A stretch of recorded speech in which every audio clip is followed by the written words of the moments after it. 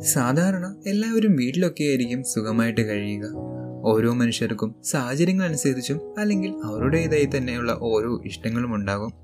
ഇത് ചിലപ്പോൾ വസ്ത്രമാകാം ഭക്ഷണമാകാം വാഹനമാകാം വീടൊക്കെ തന്നെയും ആയേക്കാം. എന്നാൽ വളരെ വ്യത്യസ്തമായ സ്ഥലങ്ങളായി ജീവിക്കുന്ന കുറച്ചുപേരെയാണ് നമ്മൾ ഇന്ന് ഈ വീഡിയോയിലൂടെ കാണാൻ പോകുന്നത്.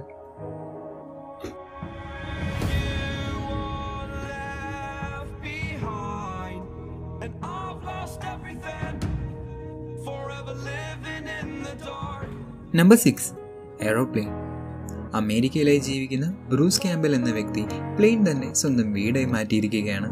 ആദ്യകാലങ്ങളിൽ ഇരുപത്തിയഞ്ച് വർഷമായി ഇദ്ദേഹം പ്ലെയിനിലായി ഇലക്ട്രിക് എഞ്ചിനീയറായി വർക്ക് ചെയ്യുകയായിരുന്നു. ചെറുപ്രായത്തിൽ തന്നെ ബ്രൂസിന് എയ്റോപ്ലെയിൻ എന്നാൽ വലിയ ഇഷ്ടമായിരുന്നു. ഇദ്ദേഹം ജോലിയിൽ നിന്നും റിട്ടയർ ആയപ്പോൾ N seven two seven five H എന്ന പഴയ ഫ്ലൈറ്റ് ഒരു ലക്ഷം ഡോളർ അതായത് എഴുപത്തിയാറ് ലക്ഷം രൂപയ്ക്ക് വാങ്ങി അമേരിക്കയിലായുള്ള ഒരു കാട്ടിലേക്ക് കൊണ്ടുവന്ന് ആ പ്ലെയിനിനെ സ്വന്തം വീടാക്കി മാറ്റി ജീവിച്ചിരുന്നു. ആയിരത്തി അറുപത്തിയഞ്ച് സ്ക്വയർ ഫീറ്റ് ഉണ്ട് ഈ പ്ലെയിനിന് ഇതിനുള്ളിലായി hall bedroom bathroom toilet kitchen sofa മുതൽ എല്ലാ സൗകര്യങ്ങളോടും കൂടി ഒറ്റയ്ക്കാണ് ഈ ഫ്ലൈറ്റിലെ ഇദ്ദേഹം ജീവിക്കുന്നത്. നമ്പർ ഫൈവ് കേവ് അമേരിക്കയിലായുള്ള ഡാനിയൽ സ്റ്റൂവിലോ എന്ന വ്യക്തി ഇരുപത് വർഷമായി വീട്ടിലായി ജീവിക്കാതെ മലയിലെ ഗുഹയിലാണ് ജീവിക്കുന്നത്. ഈ ഗുഹയിലായി ജീവിച്ച ഇരുപത് വർഷത്തോളം പണത്തിന്റെ യാതൊരു ഉപയോഗവുമില്ലാതെയാണ് ഇദ്ദേഹം ജീവിച്ചത്. ഇദ്ദേഹത്തിന്റെ അമ്മയും അച്ഛനും സഹോദരന്മാരും നോർമലി നമ്മളൊക്കെ താമസിക്കുന്നത് പോലെയാണ് ജീവിക്കുന്നത്.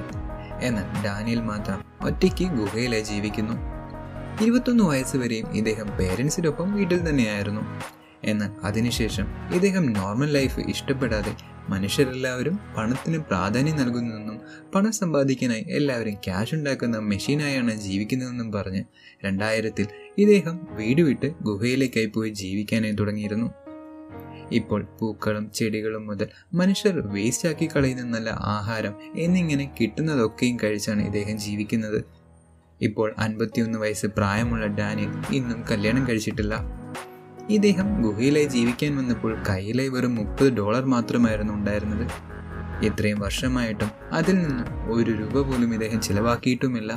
നമ്പർ ഫോർ റിവർ ഐലൻഡ് കാനഡയിലായുള്ള കാറ്റ്ലിൻ കിങ് എന്ന യുവതിയും അവരുടെ ഹസ്ബൻഡ് വെൻഡി ആഡംസ് എന്ന വ്യക്തിയും കാനഡ ടോട്ടിൻ എന്ന കാട്ടിലായുള്ള റിവറിന് മുകളിലായി ആയിരത്തി തൊള്ളായിരത്തി തൊണ്ണൂറ്റിയൊന്ന് മുതൽ ഇരുപത്തിയൊൻപത് വർഷമായി ഒരു ഐലൻഡിൽ നിന്ന് തയ്യാറാക്കി. ഇവരെ രണ്ടുപേരും തനിയെ ജീവിച്ചു വരുന്നുണ്ട്. ഇവിടെ ഇവർക്ക് ആവശ്യമായ വീട് ഡാൻസിംഗ് ഫ്ലോർ ലൈറ്റിംഗ് ഹൗസ് മുതൽ ഇവർക്ക് ആവശ്യമായ പച്ചക്കറികളും പഴങ്ങളും വിളയിച്ചെടുക്കുന്ന ഓർഗാനിക് ഫാം വരെയും ഈ റിവറിന് മുകളിലായി അവർ തയ്യാറാക്കിയിട്ടുണ്ട്. മീൻ പിടിക്കാനും വീടിനകത്ത് നിന്ന് ചെയ്യാൻ വണ്ണം സെറ്റ് ചെയ്തിട്ടുണ്ട്. ഈ മൊത്തം ഭാഗവും ഇരുപത് വർഷമായി ആരുടെയും സഹായമില്ലാതെ ഇവർ രണ്ടുപേരും ചേർന്ന് കുറച്ചു കുറച്ചായി തയ്യാറാക്കി ജീവിച്ചു വരികയായിരുന്നു. ഇപ്പോൾ ഇവർ താമസിക്കുന്ന സ്ഥലം കണ്ട് ടൂറിസ്റ്റ് പ്ലേസ് ആണെന്ന് കരുതി നിരവധി സഞ്ചാരികളും വരാനായി തുടങ്ങിയിരിക്കുന്നു. നമ്പർ ത്രീ സ്യൂറേജ് കൊളംബിയയിലായുള്ള മരിയ ഇവരുടെ ഹസ്ബൻഡ് മംഗോളിക് ഇവരുടെ ഒപ്പമുള്ള ഒരു നായ് കഴിഞ്ഞ മുപ്പത് വർഷമായി ഉപയോഗശൂന്യമായ ഒരു ഡ്രെയിനേജ് ഹോളിലായിട്ടാണ് ജീവിക്കുന്നത്. ഒരു ചെറിയ ഹോളിലായി ഇവർക്ക് മൂന്ന് പേർക്കും ആവശ്യമായ ബെഡ് ടി വി മുതൽ കിച്ചൺ വരെ എല്ലാ സൗകര്യങ്ങളും തയ്യാറാക്കി വെച്ചിട്ടുണ്ട്.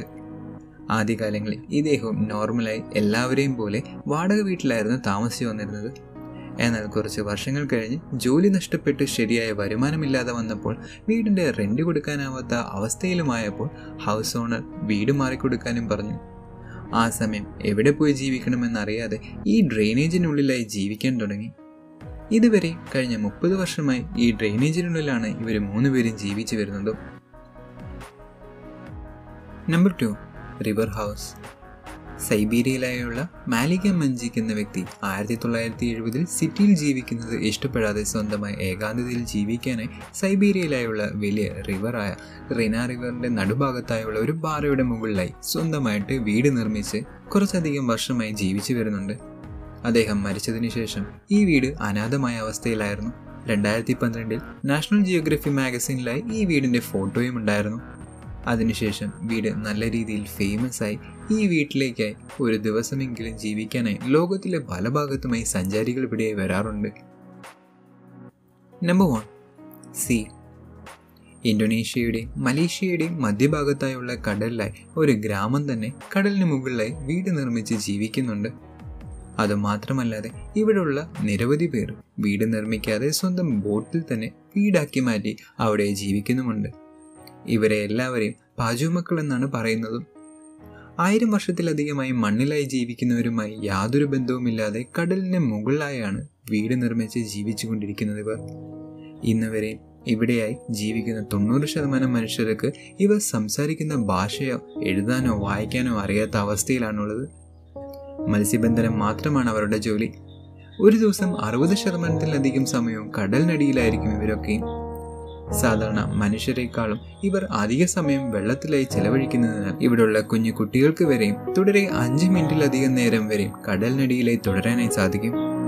ഇന്ന് വരെയും ഇവിടെ കറണ്ട് സൗകര്യങ്ങൾ ഉണ്ടായിട്ടില്ല. ഇത് കാരണം ടി വി മൊബൈൽ ഇന്റർനെറ്റ് എന്നിങ്ങനെ എല്ലാവരും ഉപയോഗിക്കുന്ന ഒരു ടെക്നോളജിയും ഇവിടെയുള്ളവർ ഉപയോഗിക്കാറുമില്ല. കടലിനെ വിശ്വസിച്ചാണ് ജീവിക്കുന്നത്.